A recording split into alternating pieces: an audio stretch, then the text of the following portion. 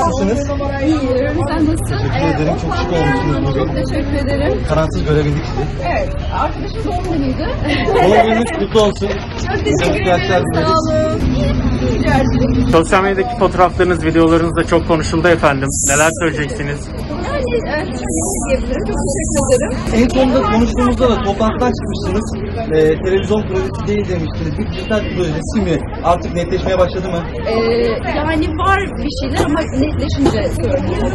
Ya, Resimleri de çok iyi bu arada. Karının hani bir başka bir el becerisi, yetenekleri var mıdır? Okula da başladı zaten bu arada. Çok daha, çok küçük bir küçük. Yani onları tespit etmem için e, daha çok bir şey diyemiyorum ama e, inşallah olur. Sosyal medyadan çok konuştuk ama ünlüler genelde e, fake hesap kullanıyorlar.